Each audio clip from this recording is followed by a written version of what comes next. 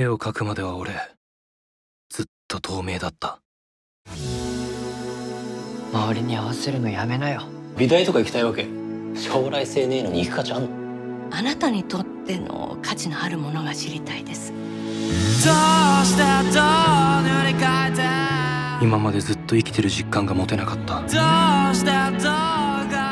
あの青い絵を描くまでは。じゃあ一緒に描こうよ楽しいからで人生決めていいんですか？好きなことをする努力家は最強なんです。俺の心臓は今動き出したみたいだ。東京芸大は東大より難しい大学。倍率は約200倍。今のままじゃ芸大はきついね。あいつみたいなのを天才って言うんだな。大地受かるわけ？絵じゃ食べていけないでしょ。お前本質を何も分かってない。才能はないかもしれない。だけど俺絵を描くのが好きなんだ。